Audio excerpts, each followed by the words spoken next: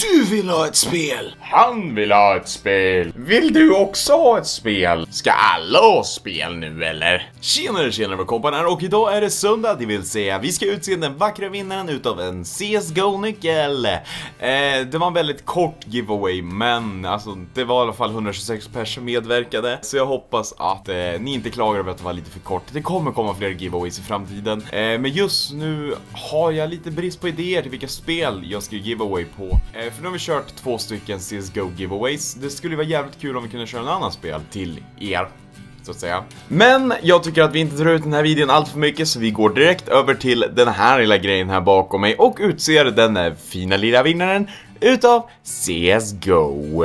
Ja, och nu sitter jag här vid dumburken och jag ska välja ut den eh, vackra vinnaren. Som sagt, vi har 126 stycken medverkande så det kan ta ett tag att räkna och det kan gå jävligt fort också. Men det, vi får se hur det blir med den saken. Vi, jag, ty jag tycker vi rollar med redan från, re, redan med en gång liksom. Random.org Eh, vad sa vi nu? 126 medverkande. Skriver in det, 126. Och så genererar vi fram ett nummer. Jag tänker inte klicka mer än en gång för då blir det så...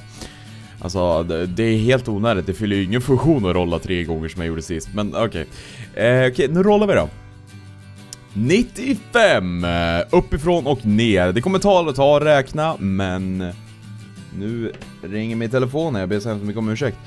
Eh, Okej, okay, vi börjar uppifrån och ner. Jag eh, kommer nog snabbspola tills vi har fått fram den rätta vinnaren. Okej, okay, då kör vi.